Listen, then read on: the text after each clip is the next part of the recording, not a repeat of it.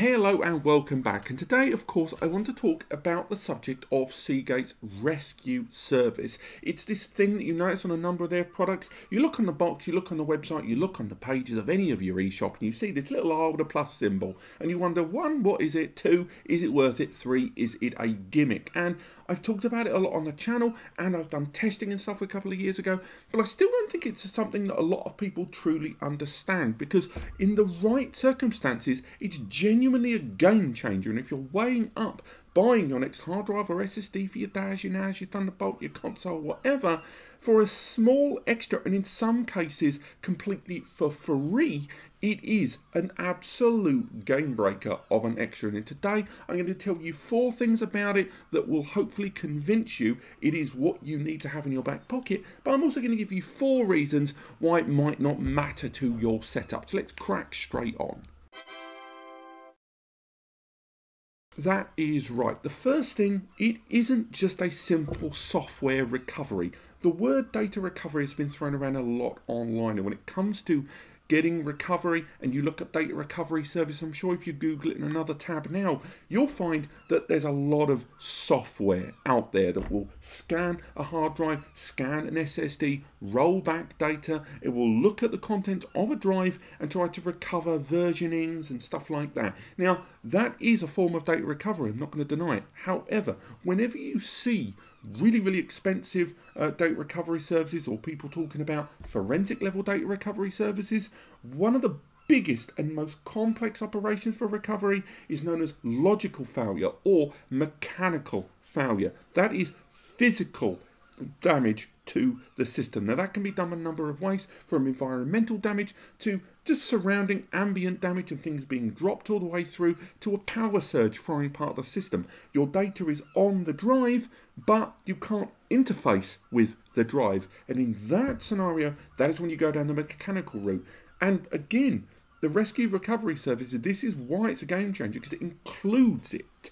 A lot of people, when they look at data recovery services, and again, this isn't for everyone, but when it comes to logical failure, and that's when a drive breaks but your data is inside, it's still on the platters, this is included in that service. So again, if you're going to be running um, drives in you know higher lower temperatures you're going to be running these systems in you know not war torn areas or you know on the road something where there can be environmental hazards having mechanical failure recovery options built into your purchase is not a bad thing indeed Next up, I want to talk about the method of recovery because obviously they go down mechanical fail, uh, recovery failure there. They've got data centers, they take drives apart and then go for bit by bit, block by block recovery but what I'm talking about now is how you get the data back. Now, this will differ depending on everything from USB drives to M.2 NVMEs and hard drives. But when you get your data back, it is delivered in the following forms. Normally, you get all three, but that does depend on the methodology and the hardware that you are getting the recovery from. So first up, you get a USB drive with your data on it. Now, whether that's an external drive, whether that's the SSD, they give you an external drive, generally via USB, that will have all of your data on it that they've managed to recover. The second thing they give you, if you're still within your warranty period, is another drive. So if you get a drive like the three-year Seagate IronWolf series that's got three years of data recovery and three years of warranty,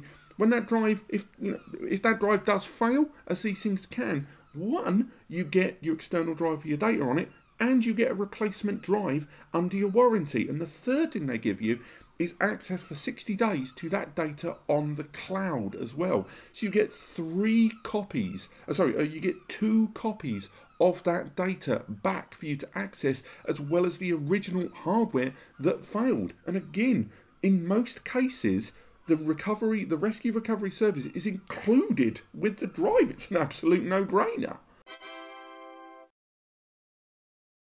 Third thing people are less aware of is you don't have to only get drives that have got rescue built in. Now, this does create a kind of ambiguous line there between Seagate products and non-Seagate, but lots of websites, including Amazon, allow you to add this service to an existing drive. So just because you might not want to buy the Seagate drive because maybe stock is less available or the pricing isn't to your liking, you can still get that Rescue Plus service bolted on.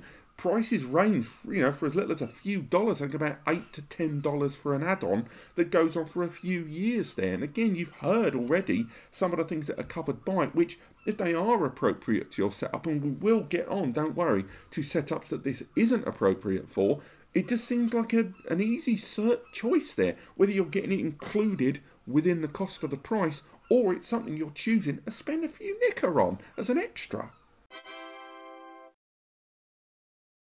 And the last thing is the recovery process itself, because one of the things you find with enterprise level data recovery services, and again, we've got a whole series on this that we've worked with a couple of double uh, data recovery services down on the south coast of England. That next content is at about 60% done. Hopefully, that video is going to come before the summer.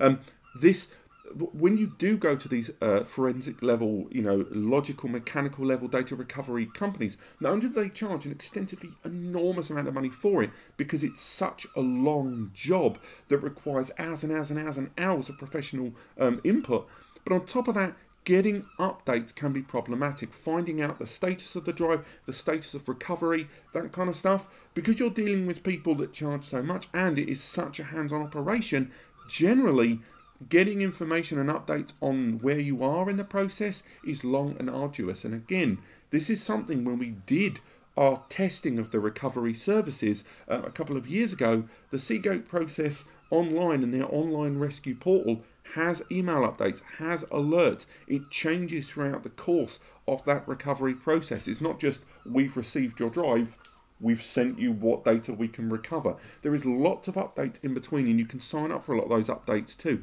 A number of users, when they got this service and tried to sign up for it, didn't realise that a few of them were already signed up by default with the device because of the serial it's linked to. That's not universal and you should always check in advance, but that background service and updates on when you do take advantage of this recovery, if you need it, is still going to be a lot of peace of mind. Now, again, the rescue recovery service is not for everyone. There are times and means when it is not going to be appropriate to you. So we're going to go through four reasons why you might not really care about the rescue service. That's right, one of the most concerning elements of data loss in the last year or so that is growing in frequency is ransomware attacks. And unfortunately, for the most part, this rescue recovery services, uh, the rescue recovery services they're not going to help you. When it comes to ransomware, the bulk of ransomware attacks are stationed around the idea that your system is gained hold of, an encryption, or just basically zipping it all up all of your files into little zipped up versions of themselves with a brand new uh, prefix there, a format on the end is created, a key uh, which would unencrypt them is deleted from the system, and you have to pay this nefarious third party to give you the key to unlock your files. Now, recovery isn't going to work in this instance because you can't the data is still there and it's been changed on an encrypted bit by bit level. Now, had it been deleted, recovery can help you. Malware can sometimes do that, and then you'll be able to roll that back. But rescue recovery services will only work if you have versioning or snapshots there in the background that can be referred back to, and even then on a Linux level. So if you're considering the rescue recovery service to protect you from ransomware, it's not really going to be any use to you. Now this is something I probably should have gone into more detail on when I made my slightly comedic video where I messed up a hard drive and sent it to Seagate there. When it comes to the um, reconstruction of the data on the disk, intentional damage isn't going to help. If you've got a hard drive there that's got a nail plunged through it, they're not going to give you the time of day. If you've got a hard drive there that's been steamrolled or a hard drive that smells of bacon and it's been burnt, they're not going to touch it. It comes down to unintentional damage. So again, if you've got an ex that's got real anger at you and messed up your PC with a baseball bat, I don't think you're going to be covered. But in the event of natural flooding, in the event of fire, things that aren't your fault, these are things that you're probably covered by, and their terms and conditions is a lot more detailed than you might think. this is a big one, and I think this is something I think Seagate could stand to be a little louder about, and that is in the event of RAID recovery, data recovery services are going to be less useful to you, at least within this context of a single drive scenario. To put that into perspective, take example this 4-bay NAS system here. Now if I took advantage of a RAID 5, that means I've got one disk of parity. When the data is being written across these disks, parity is being written with every wave of data. If one of these drives dies and I want to take advantage of the recovery services, it's not going to be foolproof because they'll try to recover all the data on the disk, but parity data and that RAID data is very, very delicate. And unless 100% of that data has been recovered, chances are, even if they recovered a huge amount of the data that's on a drive that was the a one disk of a RAID failure selection there, it's not going to be enough. And the RAID, if it does get rebuilt, may have silent data corruption there in the background because that is one drive that's part of a larger RAID configuration. Now, it's worth bearing in mind I've presented there a one disk drive failure where again even if you weren't going to take advantage of the recovery services, you'd still have RAID, buy a new drive, slam it in. What if this was a 6 or an 8 bay that had a RAID 5 and we lost two drives and therefore RAID recovery was not possible? That means you'd have to send two drives out for RAID recovery and even if most of the data is recovered on both or one of them, it's not going to be enough. And your RAID is still not going to be recoverable there overall. So do bear in mind that the recovery services should only be considered towards a single disk environment. It's not impossible that they can be useful in a RAID recovery setting, but the likelihood of recovery is so small that I wouldn't consider it a viable safety net long term. And finally, let's talk about that recovery there. Because again, Seagate haven't been secretive about this, but I think it's something a lot of people don't highlight. The odds of recovery are not 100%. Generally, Seagate um, publicly state it's a. They say, and they're quite pleased with 95% recovery rates there. Now that sounds really, really good, but bear in mind that 95% has two main shortfalls in a more general sense. First and foremost, you might be trying to recover the data from a drive and there's a specific piece of data that you need to be recovered. It might be very, very small or worse, very, very big, a big old chunk of sequential data. So the second thing is you might get 95% recovery, but that file that could be 10 meg, could be 100 gig, could be a terabyte, that one big file it might be 95% of that file. It could be 95% of an installation. Consequently, it might not run. It might be completely compromised. It might be an image that's got chunks taken out of it. It might be a video file that's lost its and not running properly. It could be any manner of things.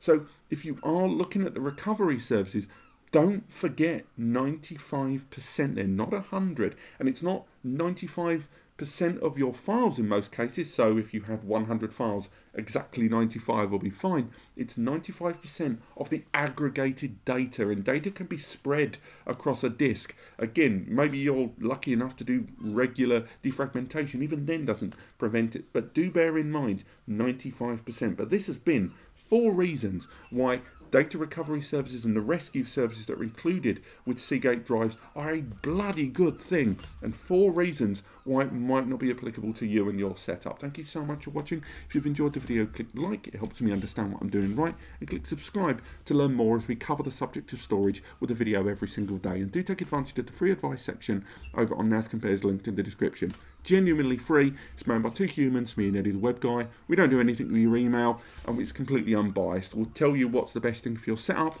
and then it's up to you. Thank you so much for watching and I'll see you next time.